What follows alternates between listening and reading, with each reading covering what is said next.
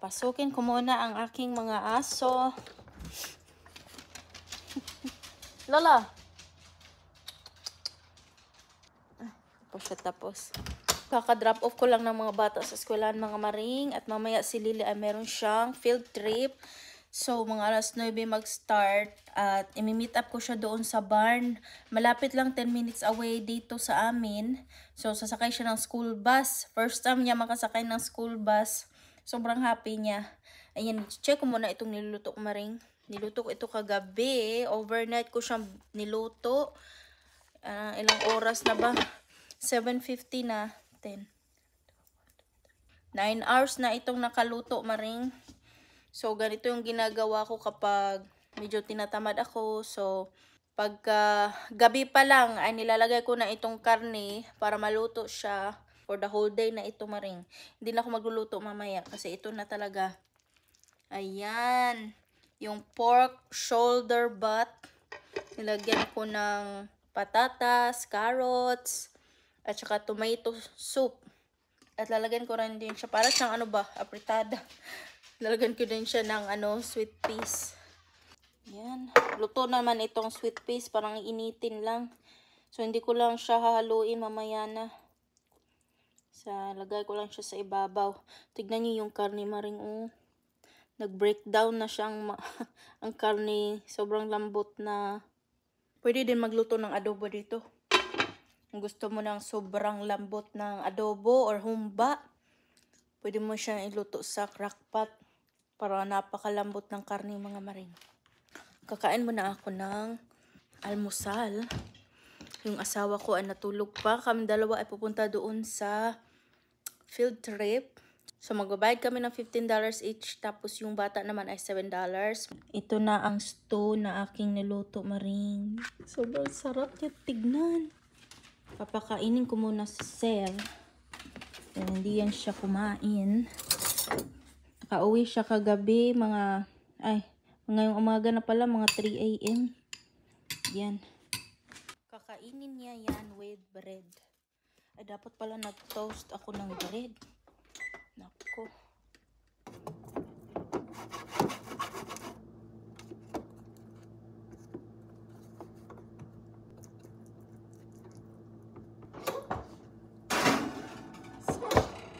Maglagay tayo ng brown sugar sa ibabaw. Ito yung ginagawa ko mga maring. ginagawa nyo rin ba to maring? Kasi ganito yung toasted bread sa atin, di ba? May sugar. Ito na breakfast natin. Toasted bread na may brown sugar. Ang aking aso na mabaho. Kahit anong gawin kong ligo. Mabaw talaga siya na klase na ano, na aso. Tapos, lalo na kapag mag-ano siya, uutot siya, ay, good luck. Ang buong living room talaga ay babaho. Ang baho ng utot nito mga maring. Yan si Chardy. Hey, Chardy!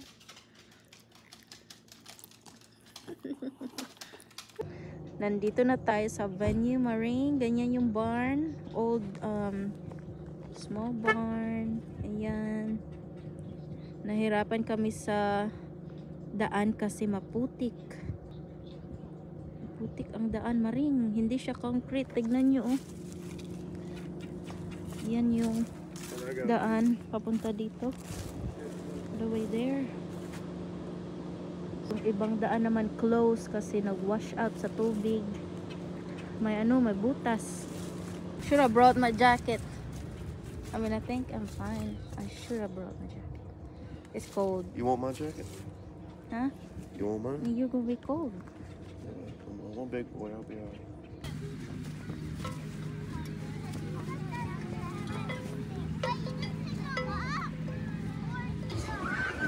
Hi, Lily girl. Stay seated. Hold on, Lily.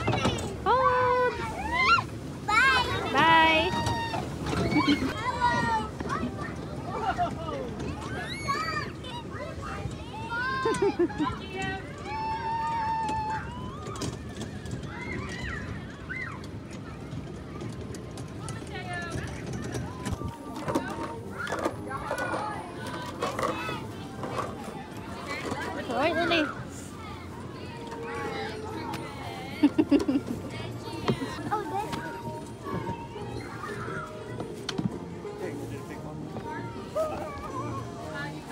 Try it.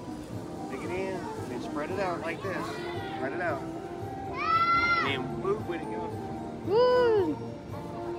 Do it look, again. Look, look, look, look, look. When you do it, hold it like this.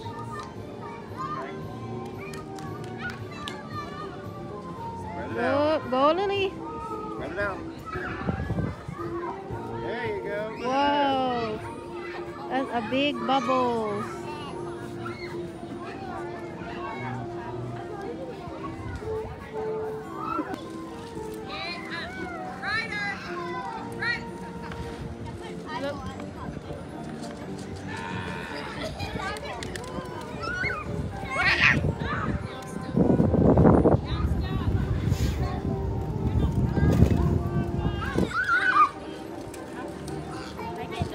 Spread it out. You gotta spread it off to the string. There you go.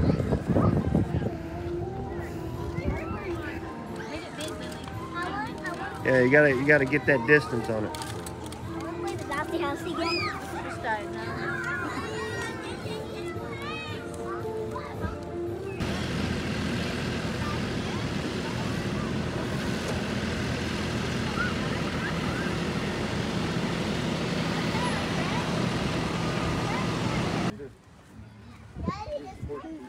Piggy. It's so cute. Alright, come on this way.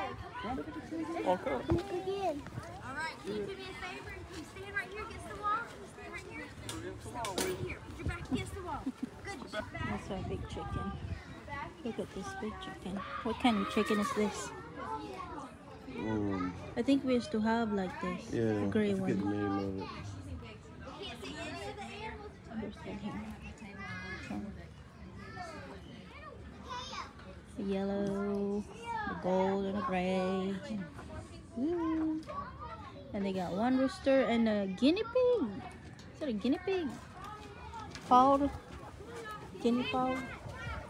Ducks. Oh, I thought that's a guinea pig right there. that's a, a different type of chicken. Right there. Guinea fowl? Yeah. Oh, you said a guinea pig.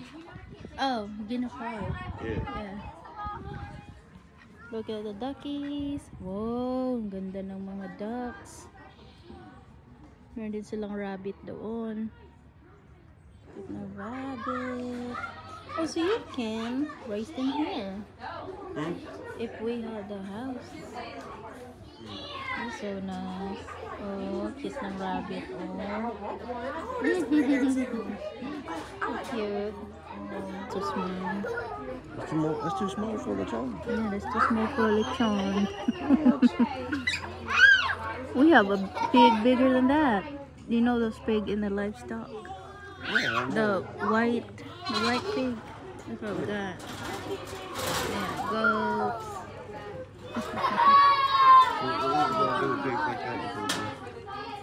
What's about the size of a wild pig? Yeah, looks like wild pig. Probably just meat it. Slaughter it to get meat. But no, lechon is too small. You're done? Oh, got a hole.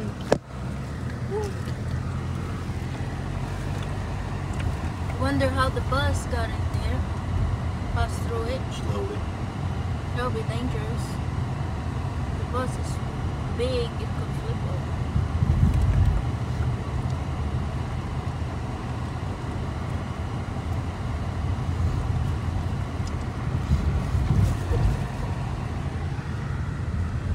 There's a lot of farms here. There's onion farm.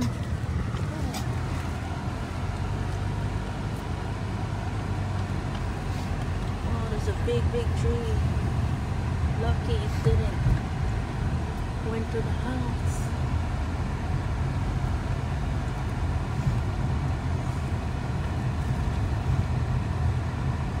We just put rocks on the roof. Yeah, so it won't blow away.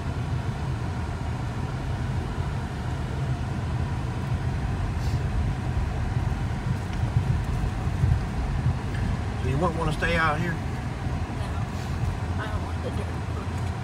That's gonna be a problem going in out. Oh wow. Uh, this, the road is still wet. This is dangerous.